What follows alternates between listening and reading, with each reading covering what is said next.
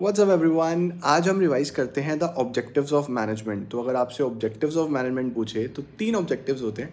Organizational social personal organizational objectives में तीन चीज़ें आती हैं. सबसे पहले होता है सर्वाइव करना. यानी कि उतनी कॉस्ट कवर करना जितनी आई है तो सर्वाइवल देन प्रॉफिट प्रॉफिट कमाना. उसके बाद ग्रोथ नए नए यूनिट्स बनाना एक्सपेंशन करना डाइवर्सिफिकेशन करना. तो सर्वाइवल प्रॉफिट ग्रोथ ये ऑर्गेनाइजेशन ऑब्जेक्टिव आ गया. फिर सोशल ऑब्जेक्टिव्स आ जाता है जिसमें हम सोसाइटी के लिए कुछ करते हैं एम्प्लॉयमेंट अपॉर्चुनिटीज़ जनरेट करना पॉल्यूशन ना करना गुड क्वालिटी प्रोडक्ट बनाना, ये हमारे पास आ जाता है सोशल में। और लास्ट आते हैं पर्सनल ऑब्जेक्टिव्स पर्सनल में हम किसकी बात करेंगे? एम्प्लॉयज़ की बात करेंगे। उनको अच्छी सैलरीज देना रिकग्निशन देना प्रमोशंस करना। तो तीन ऑब्जेक्टिव्स हैं ऑर्गेनाइजेशनल सोशल पर्सनल